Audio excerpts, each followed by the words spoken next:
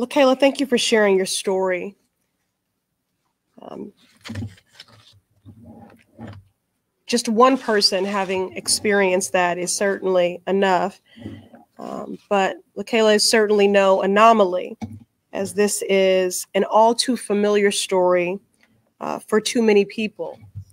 But thank you for sharing what was uh, deeply personal. It's not easy to do what you just did. And so we thank you. And of course, it's always good to stand alongside my partners in good trouble um, in doing the work of righting wrongs and centering the humanity of people and our efforts around consumer protection and social justice and so many other issues.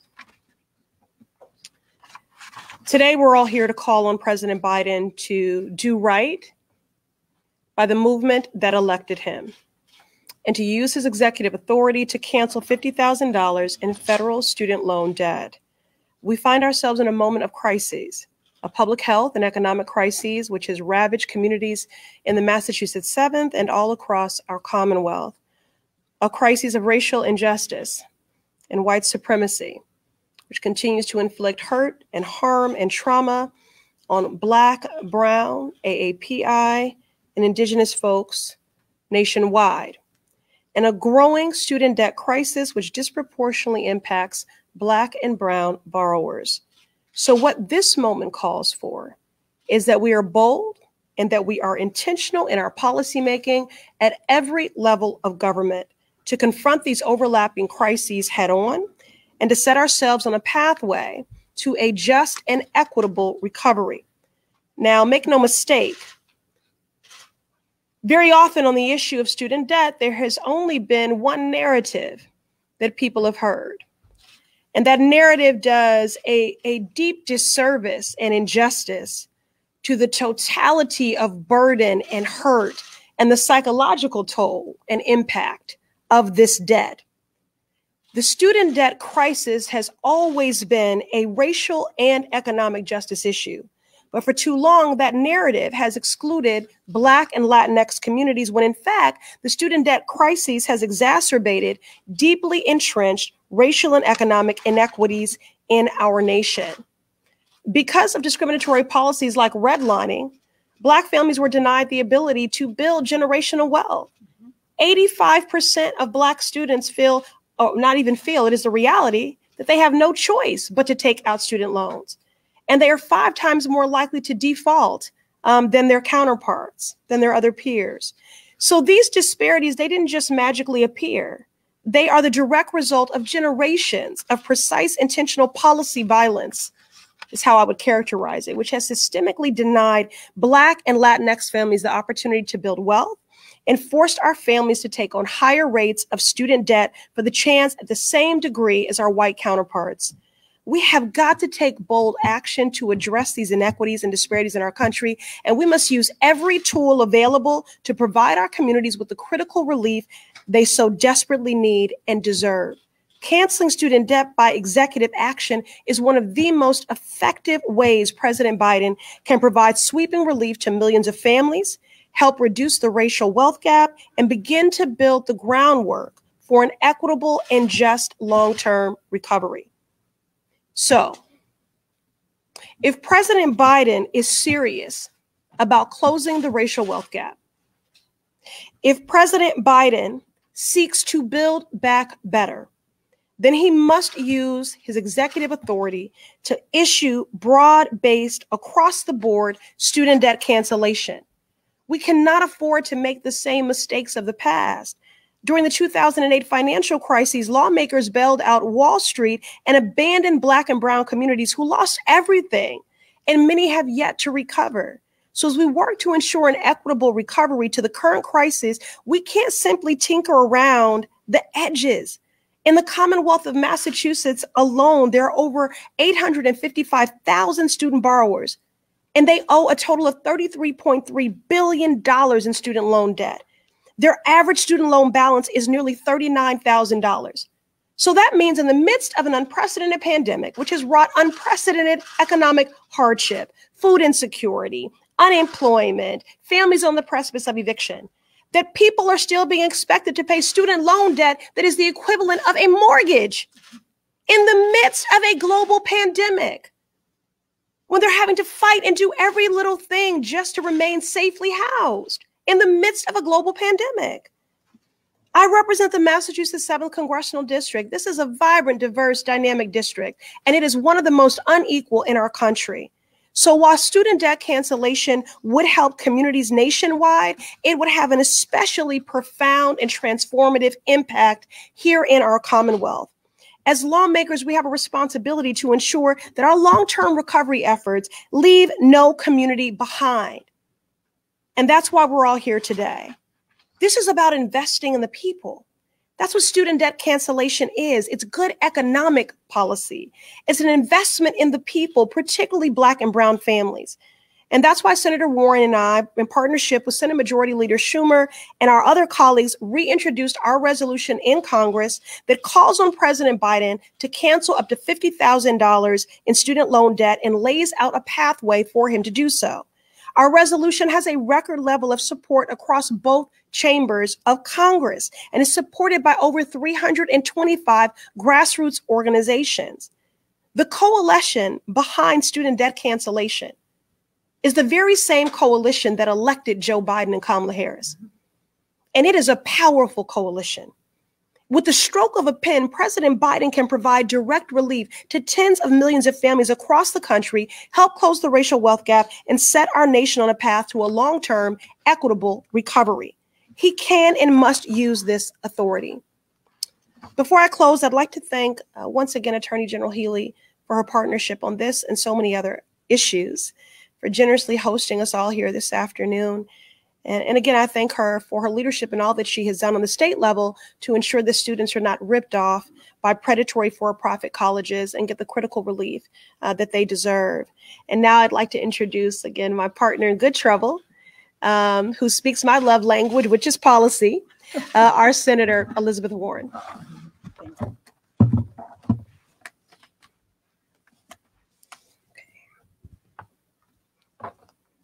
Maybe we should have some transition music. That's right. Bear That's with right. me here. A little dance. Got to get this mask over my hoops. Bear with me. Okay.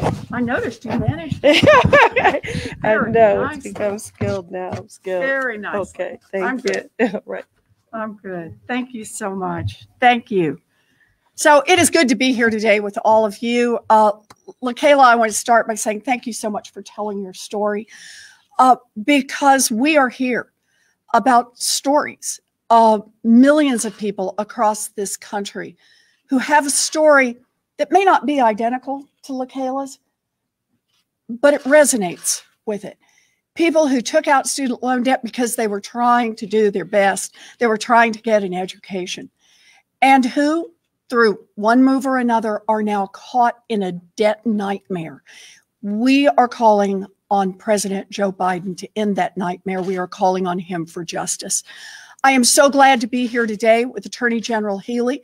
As she rightly pointed out when we started, this is not our first time to come in here to talk about student loan debt and to fight back on behalf of people who've been tricked, trapped, and smashed by student loan outfits that have cheated them.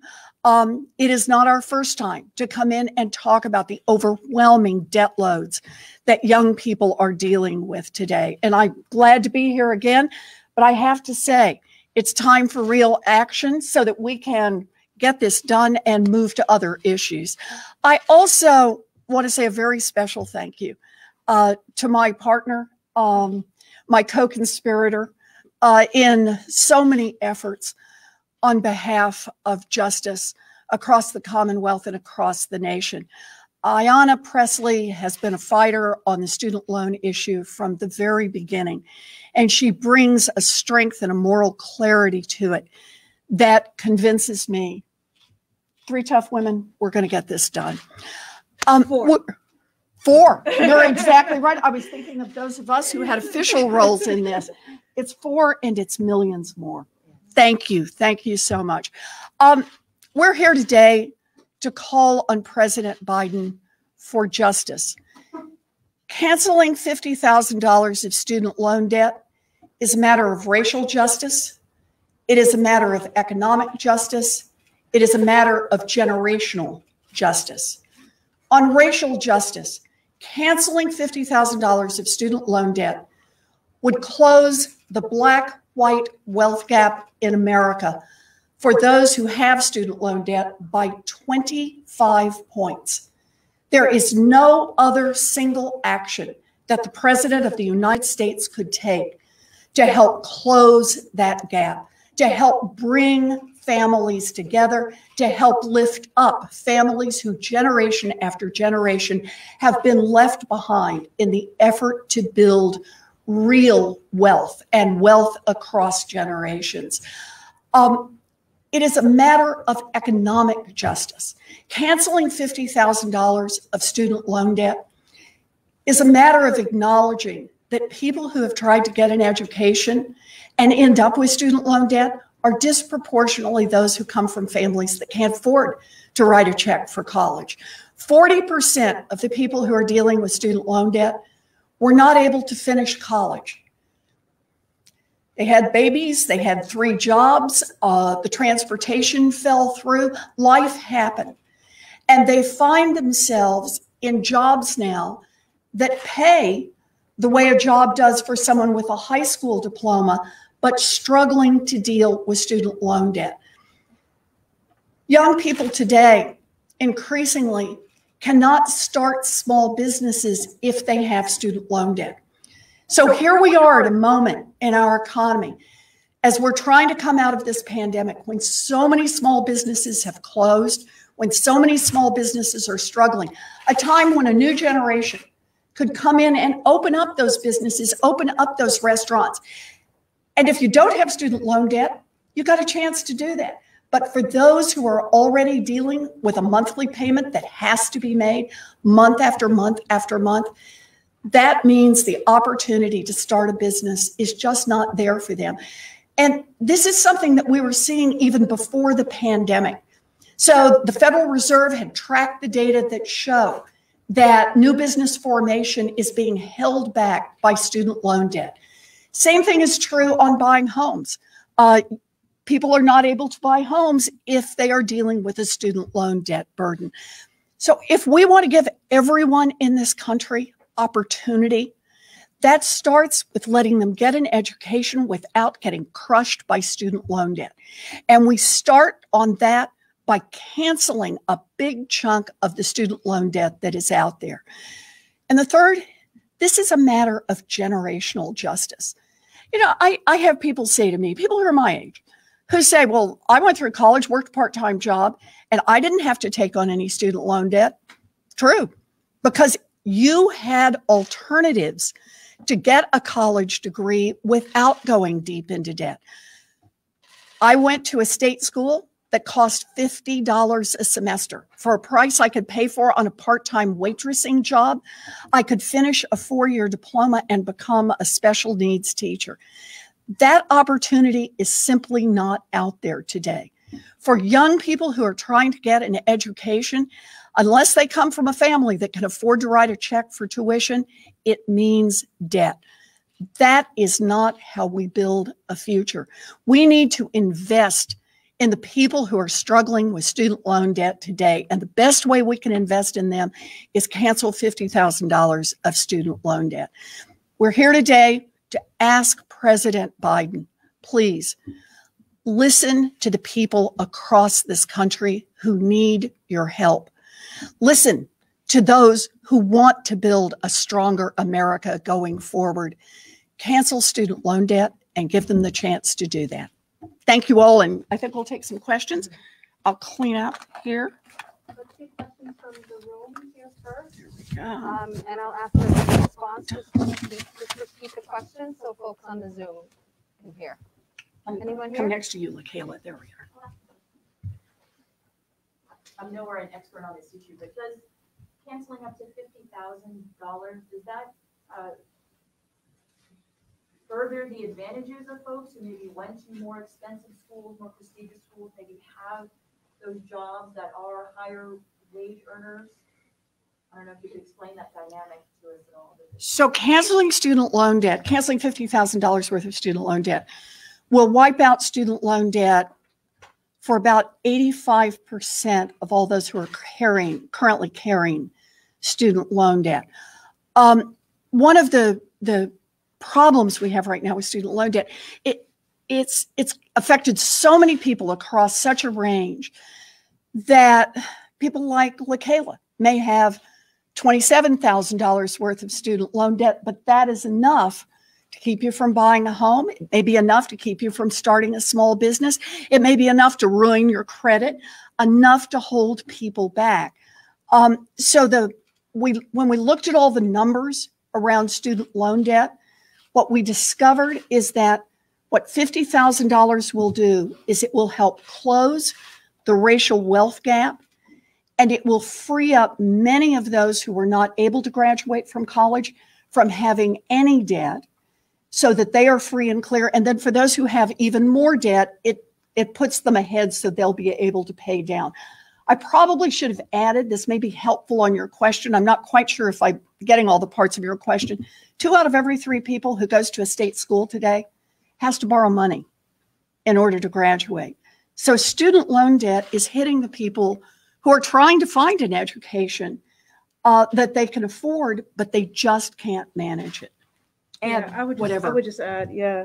I mean, right. Again, we do a, a disservice when we uh, perpetuate the idea that um, this is a that the face of student debt are um, white graduate students uh, who went to Ivy League institutions. Um, that is not the story of student debt. In fact, this is not even just a millennial or Gen Z issue. The fastest growing population of those who owe student debt are 50 plus in my district, as I have traveled it, uh, seeking to, to actively hear these stories and to better understand um, how to address this nearly $2 trillion crisis, I want you to know that I have had people as old as 76 years old who have told me they are still paying student debt. And, and that doesn't even include the educators, some of which um, more generally, Attorney General Healey was speaking about, who have lost their licensure to teach because they've defaulted on loans, loans that they took on because they wanted to be of service to their community. And let us not forget that under the prior administration during this pandemic, until we intervened, 54,000 people had wages and benefits garnished because of defaulted student loans. So I hope by enumerating, you know, those examples there, it makes plain um, that this is a that the hurt is deep and it is wide. Um, and again, it is an economic justice issue. It is a racial justice issue. And, I'll pick up on the words of our of our good senator there. It is a generational issue.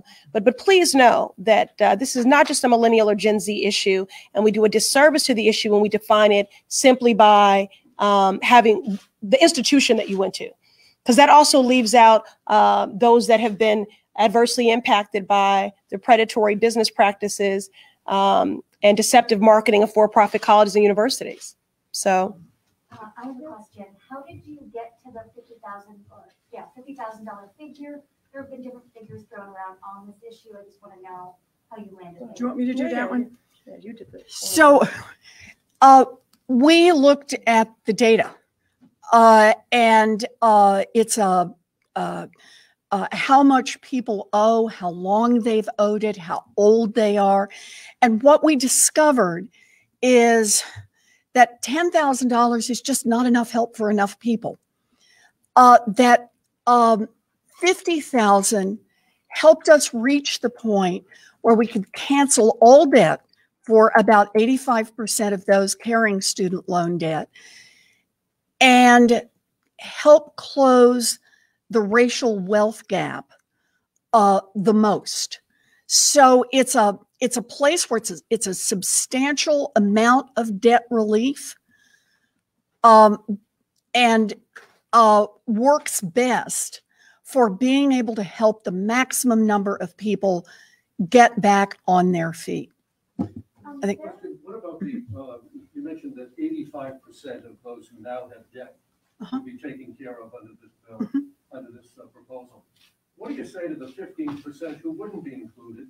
And what do you say to all of those who have paid off their debt? Well, let- let's do, They, they paid off their debt and now they're seeing other people get off without paying it. Right.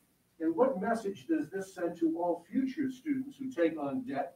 Doesn't it send a message that you're not gonna really have to pay this off because we'll, we'll let you walk away from it? so let me start with the first part of your question. If I leave any part out, you can remind me.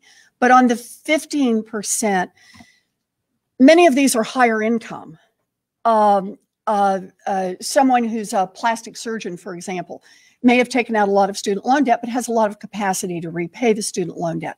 For those who don't, uh, going through bankruptcy and changing the rules in the Department of Education so that they can cancel student loan debt as part of the bankruptcy process if they show that they are otherwise unable to pay, uh, permits a more um, handcrafted approach for the smaller number of people who have very high debt loads and very low incomes. On the question about people who've already paid off their student loan debt, my answer is this is good for you. Student loan debt is holding back our economy. Our economy would do better if all of the people who have student loan debt were able to get out and start their own small businesses, able to buy homes, able to take jobs in public service, things that are denied to them when they're struggling with a load of debt. So, overall, it's like everything else we do. I invest in public roads in South Dakota. I don't drive on them, but I invest in them because I understand that having an interstate highway system is part of how we make this country work for everyone. We try to create opportunity for everyone. And that ultimately that investment is what redounds to the benefit of everyone. The second part I'd say about that is that if we're going to take the position that if I didn't already get it in the past, you can't get it now, we never build anything. We wouldn't have started Social Security. We wouldn't have started Medicare. The whole notion is we're trying to move in that direction where young people can get an education without actually putting their entire future on the line, without, as Congresswoman Pressley said, having to pay one full mortgage before they're dead flat broke and can start trying to build up some wealth to buy a home and, and save for their retirements. We're trying to move in that direction. Canceling student loan debt is the first step. The second step is making college debt free for any student who wants it. And, and I would just add, I'm Please. sorry, I would just add to that. Um, I serve on the Financial Services Committee, and actually, in the last Congress, uh, my bill did pass the House. I'll be reintroducing it, um, and that's the Comprehensive uh, Credit Recovery Act. So I think that you know, there's three ways holistically that we get it. We get at this for those who have already defaulted on loans, and that's impacted their credit score. We make it easier for them to to um, to rehab their credit, and then to Senator Warren's point that the ultimate goal is. Um, that people are able to pursue higher education, to invest in themselves, to better themselves, um, and it is debt free. And um, you know, finally, uh, I mentioned that we have educators in the district who lost their licensure to teach. That's not about a lack of personal responsibility. If we, if you have a situation um, where you are required to have city residency in order to teach in, in, in a Boston public school, and our housing is unaffordable, and you're paying more than 70% of your income, you know, for rent. I mean, so there's, you have to look at the issue uh, holistically. Um, I don't think those teachers were operating in an irresponsible uh, manner. We haven't created an ecosystem whereby um, uh, they can be of service uh, to community. They took out these loans in order to be of service to community, and uh, and they've lost their licensure to teach uh, because of it, because of all the other expenses. And Mike, I just, I, think the, the question you're getting at too is fairness, right? Line drawing, right? I, I understand that. I think my response is we don't have a choice. We've reached this point. Student loan debt in this country is the fastest form of debt. You know, 1.7, 1.9 trillion dollars and growing. Three years ago, I called Jim Rooney, head of the Greater Boston Chamber of Commerce. We got together and we put forth a task force on this issue. And why? because you don't have people who have any savings. You don't have people who who are looking to buy homes or buy cars, you know, or start businesses. There's an economic imperative that we collectively benefit from. So that's the first thing, okay? I understand line drawing is always difficult if you're on the other side of the line, but here's where I think you got to take the big picture view. And I don't know how anyone you know in this moment and in this moment we, we are so focused on on on the, the, the reckoning of, of the racial disparities that have persisted for 400 years not to zoom out a little and listen to congresswoman pressley's numbers about who we're really talking about who's been disproportionately taken advantage of because we see it every day we know, you know, from our lines who's calling in, who's been ripped off by loan servicers, who's been preyed upon by for-profit schools, you know. Look, I went to one of those elite schools, right? I'm a kid, I grew up in New Hampshire. I was able to, you know, figure out a way to apply for some scholarship funding, right, through local organizations. I was also given some financial aid. And yeah, I was able to go to, you know, do work study jobs. And I was very lucky. I didn't graduate with as much debt as some other people and then of course i was able to go on and and and get a fixed six figure job out of college. So i was able to retire that debt. I am damn lucky. But i look at the other side of that and the folks who don't have that. You know i also wasn't the first in my family to go to college. And i just think we need to have this conversation and sort of this you know find peace with there is an economic you know uh, benefit for all of us you know to this. And some of it is just sort of you know recognizing that where there is line drawing, I think you look at the numbers. You know, I understand people looked at the numbers early on. So where does this come from? The senator just laid out.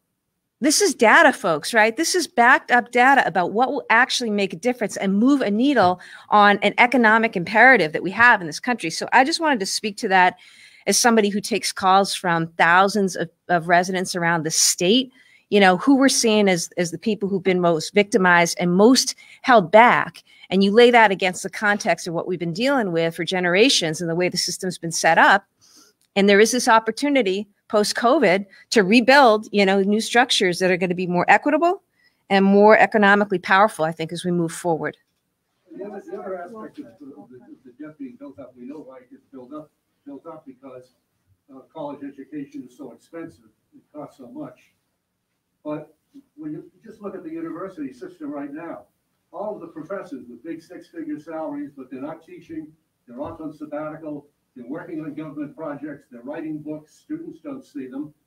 We have a university system run by a guy who's a multimillionaire with, with several hundred thousand in salary, all the benefits, the housing. Uh, he's gonna get a huge six-figure pension. He already has a six-figure pension from his days as one of your Democratic congressional colleagues. None of you are addressing uh, in the cost of education.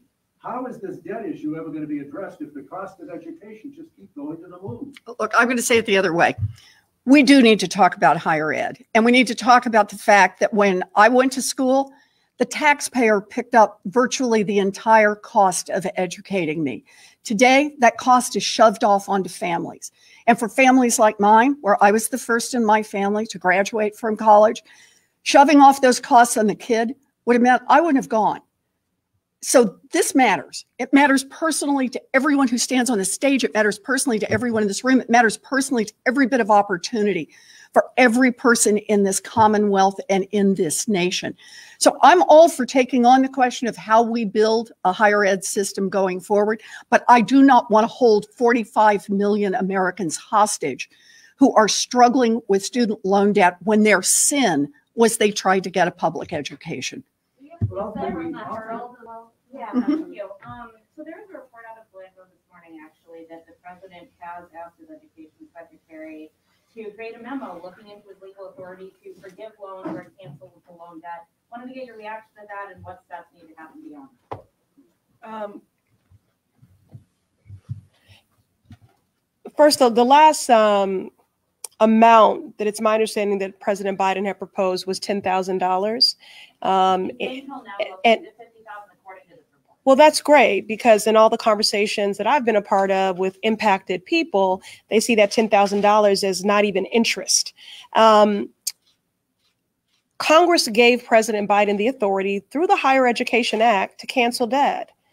Um, and so while we have introduced resolutions and legislation to get at this, um, why should the American people continue to struggle under the weight of this and wait for a legislative process when President Biden, with the stroke of a pen by executive action, authority given to him through the Higher Education Act, can immediately mitigate this hurt? And again, this is critical to a just, robust, and equitable recovery from this pandemic. This is the moment. This does jumpstart uh, the uh, economy. And it is, it's about the recovery, it's economic justice, it's racial justice, it's it's generational justice, and these goals are all consistent with the things that have been verbally expressed by this administration um, that they that they want to do. Um, you know, I'm in ongoing communication with the White House, um, and I'm grateful that those lines of communication uh, remain open. Um, I've been encouraged by those conversations, but I told them, listen, if you're going to uh, speak to the role that Black women have played on the ballot and at the ballot box, Black women are the most educated and the most burdened by mm-hmm. student debt. So you can say the words of appreciation. Policy is my love language. Cancel student debt. So he has the authority and, moreover, the mandate, a decisive mandate from the diverse coalition that elected him. And Jillian has one last question from the chat. That's great. Thank you. This is from Kerry Murakami, congressional reporter at the Washington Times. A big factor in the amount of student debt people owe is the cost of attending college. According to press reports, President Biden is proposing in the second phase of his infrastructure plan, making community colleges free. Do you have any indication of whether he'll also be proposing in this go around to make four years free too? If he doesn't, how disappointed would you be?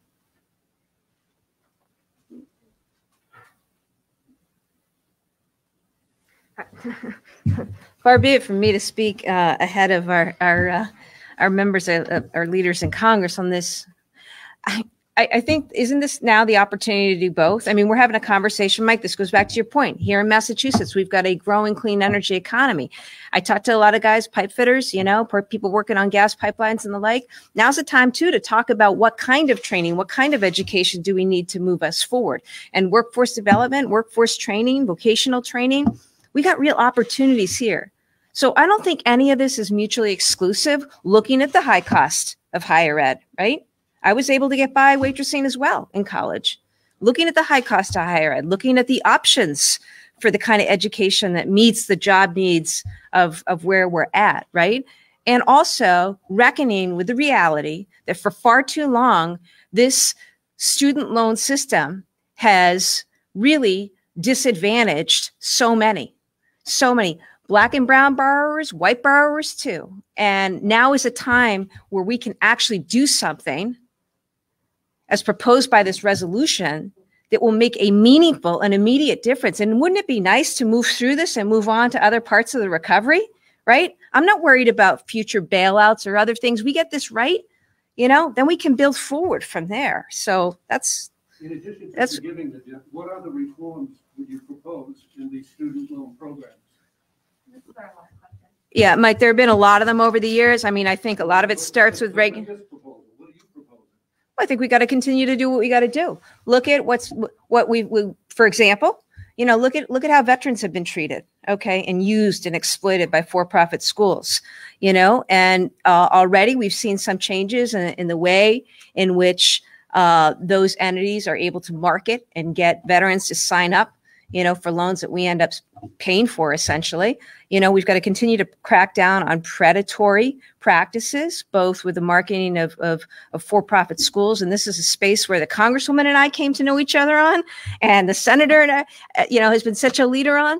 Um, and then the predatory loan, you know, servicing practices as well that that, that happen. So I, I think there's a lot of there's a lot of options there. These, I- these veterans end up going I- to these not-for-profit. Yes, they do. Yes, they do. Yes, they do. They've been scammed by them. Absolutely. They're going to these for-profit schools because they can't get into state schools. Well, they're going to these for-profit schools in many cases because the for-profit schools cheat them. And they spend the money to go recruit our veterans, they recruit low-income workers uh, with big promises that they don't deliver on. We've seen this business model over and over. Congress has just taken a step in reform as part of the American Recovery Act. And that is, it has adjusted the 90 10 rule to say that these for profit colleges have to be doing something more in terms of attracting students than simply bringing in student loan debt dollars. And so we have actually begun that process. Uh, the Department of Education has a lot of work in front of it in terms of student loan debt servicing. And the number of people who have been put into the law, wrong repayment programs. Uh, it's a complex maze, and the student loan debt servicers far too often have done what is cheapest for them, whether it was the right thing for the person who's trying to repay their loans or not. So there are a lot of places where we need to make reforms in this area. And I'm I'm for making all of them, but we start by canceling $50,000 of student loan debt. That's what we need to do, and that's what we're calling on President Biden to do. Can I ask you, a- can I ask you a quick off the, off-topic question? I want to just know, um, how you want to update the hate crime laws to protect Asian Americans here in Massachusetts? Well, with, uh, you know, forgiveness to my, my, my colleagues here, um, it is an important issue. And I think all of us have spoken out about the rise of extremism, white supremacy, and, uh, and violence and hate in, in our country. And it's a real problem. It is so corrosive. And our hearts go out to the AAPI community as they've gone out to other communities. Here's what I proposed, and I am grateful to Representative Tram Nguyen and Senator Adam Hinds, who co-sponsored the legislation that we filed that will make our hate crimes laws meet the moment. Number one, let's add gender to the categories of violence. Number two, let's increase the penalties for those who perpetrate hate crimes. Number three, let's move the cases from district court to superior court where more serious offenses are brought. And so those are just some ideas. Again, that's a piece of it. We need to work on the root causes of, of this hate, of this extremism, and we need to combat that. And we need to continue to work on education and training. And I am so grateful to have not only members of the community here in Massachusetts who are lifting their voices and survivors of violence and discrimination, but also the incredible delegation that we have uh, leading us in, in Washington, D.C., um, who will continue to impress upon all the need to meet the moment. And, and that's uh, best, uh, I think, uh, uh, seen here in, in the words, of course, of Senator Warren time after time, and of course, Congresswoman Ayanna Pressley. There's been no greater voice in terms of speaking out on, on injustices and how we got here and how we go forward. How we go forward. Um, on topic, I just want to say thank you to LaKayla. Thank you for sharing your story um, and really making, you know, real and personal this crisis. And um, thank you all for being here. Thank you all. Thank you for being here. Okay.